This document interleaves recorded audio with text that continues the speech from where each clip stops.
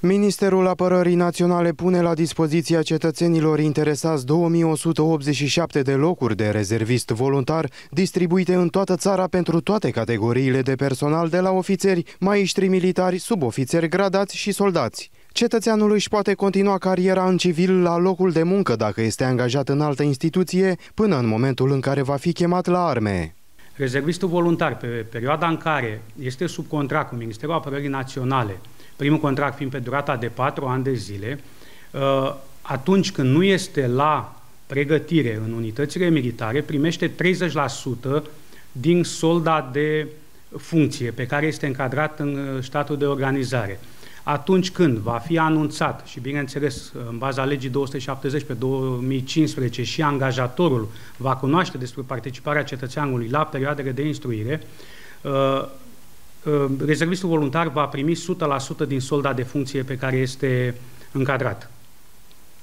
Uh, ce este de subliniat că înscriere pentru aceste posturi se fac doar la Centrul Militar Județean uh, Telorman, acolo unde avem specialiști, personalul recrutor o să ofere toate detaliile despre această campanie.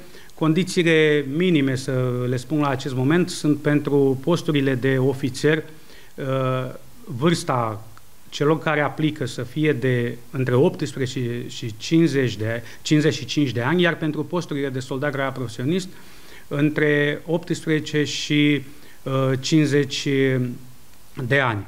Pentru posturile de ofițer, vârsta celor care aplică trebuie să fie între 18 și 55 de ani, iar pentru posturile de soldat gradat profesionist, vârsta trebuie să fie între 18 și 50 de ani. Pot aplica pentru aceste posturi atât cetățenii cu pregătire militară, bărbați sau femei, dar și cei care nu au o astfel de pregătire. Înainte de a semna contractul de muncă, cetățenii vor participa la un curs cu durata de 3 săptămâni, dar doar după ce vor trece de probele fizice și psihologice. Înscrierile se fac numai la biroul de informare și recrutare din cadrul structurii de specialitate a Centrului Militar Județean Telorman, care funcționează în municipiul Alexandria în strada Constantin Brâncoveanu numărul 45. Mai multe informații puteți obține și la numărul de telefon 0247 317 450.